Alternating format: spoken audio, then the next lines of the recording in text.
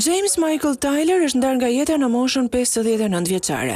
Aktori është bërë i njohur në rolin e Günther-it, menaxherit të kafenesë Central Perk në serinë televizive Friends. Bota e ka njohur si Günther, por për ata që e donin, ai ishte një aktor, një muzikant dhe një bashkëshort, thotë agjenti i tij, Tony Benson. Tyler u nda nga jeta në shtëpinë e tij në Los Angeles pas një kanceri në prostatë që u diagnostikua në dy mijë e tetëmbëdhjetën. Tyler ishte shfaqur dhe në disa seri të tjera televizive në vitet nëntëdhjetë, para se të zgjidhej si personazhi në sfond në disa episode të sezonit të parë të Friends në një mijë e nëntëqind e nëntëdhjetë e katrën. Më pas ai u bë i ftuari më i shpeshtë në seri.